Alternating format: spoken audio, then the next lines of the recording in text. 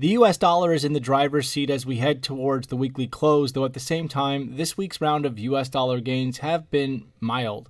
On Thursday, however, those mild dollar gains did translate to the buck reaching the highest levels against the euro since May 2017 after the initial hit of upgraded dovishness from the ECB decision inspired a round of euro selling.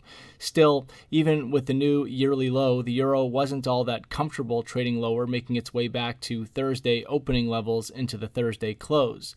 Overall, the ECB left rates on hold and delivered a message packaged with a willingness to cut rates further, which was a message that shouldn't have come as much of a surprise to the market. On the data side, German IFO readings certainly didn't help the euro's cause after coming in below forecast. Over in the UK, the pound was dealing with ongoing Brexit worry, taking in the latest headlines of the EU rejecting Boris Johnson's demands to eliminate the Irish border backstop, along with Johnson's comments that he was committed to delivering Brexit come October 31st and would be turbocharging preparation for a no deal scenario.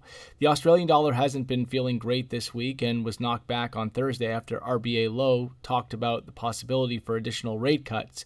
We also saw the same sentiment come through with respect to dovish sentiment around the RBNZ outlook, which hurt the New Zealand dollar this week. But again, overall, the dollar is in the driver's seat but hasn't made any meaningful moves that would suggest it's going to be continuing continuing the broad uptrend in place since mid 2018 just yet.